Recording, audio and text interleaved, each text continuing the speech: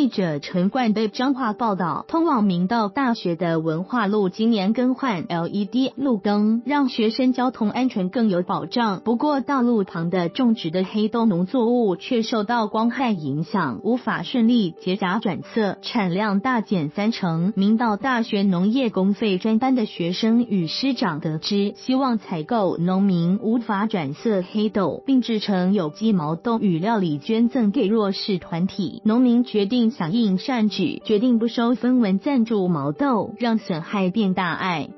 种植黑豆的农民蔡才兴栽种黑豆有多年经验。今年八月到明道大学旁租用排糖十七公顷的土地种植黑豆，原本准备要入冬后开始采收，结果紧邻文化路旁栽种的黑豆只会长叶，不会结荚，产量短少近三成，损失约两百万。蔡才兴质疑是文化路装置的 LED 路灯太亮有关。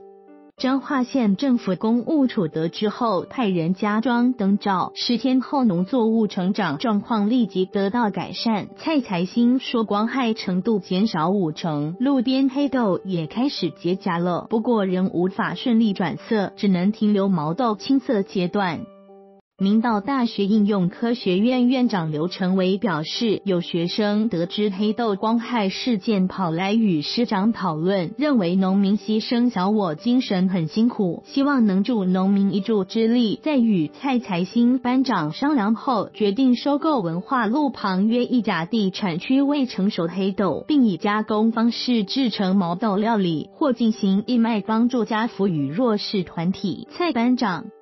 也相当认同理念，最后分文不取提供毛豆原料，让这场黑豆危机变成有意义的善举。